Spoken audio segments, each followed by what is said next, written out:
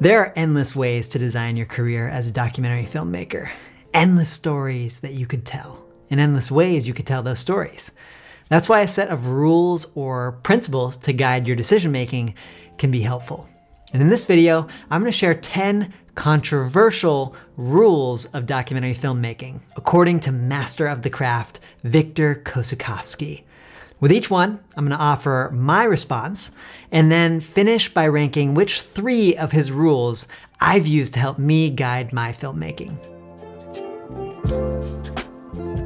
Hey everyone, I'm Austin Meyer. I'm a documentary filmmaker and National Geographic explorer, and on this channel, I share the field tested skills, mindsets, and lessons that have helped me on my journey as a documentary filmmaker. As someone passionate about animal rights, one of the most influential documentaries I've seen over the past few years has been a film called Gunda. Gunda chronicles the life of a mother pig a flock of chickens, and a herd of cows. As I always do after seeing a documentary that stirs something within me, I started to research the team who made it.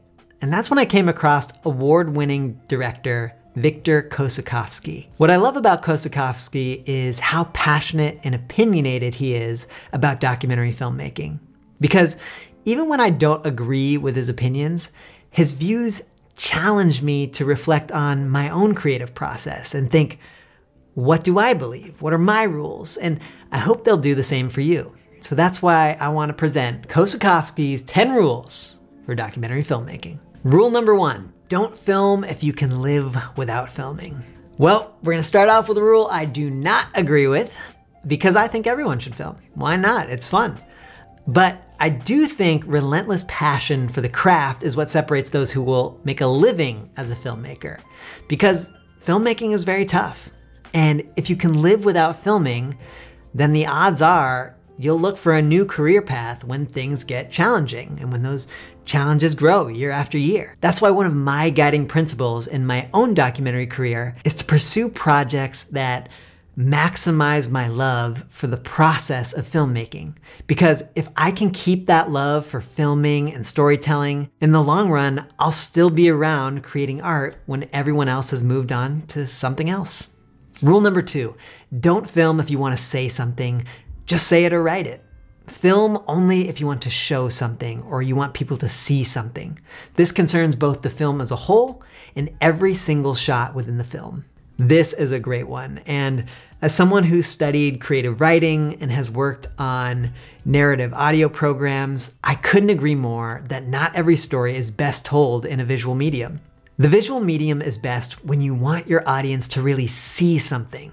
So when you're directing or behind camera, ask yourself the question, what do I want to really show my audience here? Where can I point the camera to get an audience to see the world in a new way? In TV and radio, when people stop talking, that is usually when we cut in the edit. But in documentary filmmaking, often the best material we can capture is in the quiet. It's in the empty. It's in the space beyond what someone has just said when they're just looking or just being. Rule number three, don't film if you already know your message before filming. Just become a teacher. Don't try to save the world. Don't try to change the world. Better if your film will change you. Discover both the world and yourself whilst filming. Again, another one I disagree with. I love to make films with the intention of trying to make the world a better place.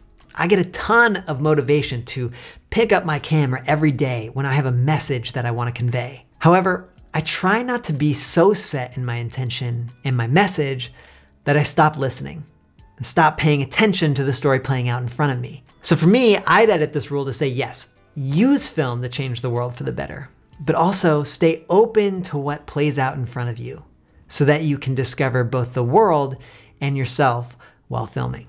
Rule number four, don't film something you just hate. Don't film something you just love. Film when you aren't sure if you hate it or love it. Doubts are crucial for making art. Film when you hate and love at the same time. I think this rule is good for not only choosing stories to film, but also actually for the, the making of the documentary. Compelling characters are neither good nor bad. They're neither perfect nor fundamentally flawed. They're all of these things because we are all these things.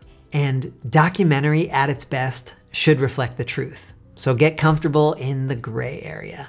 Rule number five, you need your brain both before and after filming, but don't use your brain during filming. Just film using your instinct and intuition. Ooh, this is a goal of mine as a cinematographer, and honestly, I think I'm gonna be on a lifelong journey to get there. Because as a cinematographer, when we're early in our careers, we have to use our brain when filming. We have to think about what the editor will need in post. It's like, when we're out there, we, we go through this checklist, this mental checklist. Do I have my establishing shot? Do I got my wides, my tights, my mediums, my cutaways? Which button on the camera does this or that? But over time, the more practiced we get, the more that checklist becomes automatic, allowing for more of our focus to tune into intuition and feeling. And hopefully one day I'll get to the point where I'm all instinct and intuition, but not quite there yet. Rule number six try not to force people to repeat an action or words. Life is unrepeatable and unpredictable. Remember that the very best shots capture unrepeatable moments of life with an unrepeatable way of filming. I love this and don't really have much to add. Unrepeatable moments with an unrepeatable way of filming. I love how he emphasizes your own way of filming. How will you capture an unrepeatable moment in a way that only you can? That's what we're after. Rule number seven, shots are the basis of cinema. Remember that cinema was invented as one single shot without any story, or story was just inside that shot. Shots must first and foremost provide the viewers with new impressions that they never had before. To me, this rule is about the beauty and meaning of a single frame and how that frame makes you feel.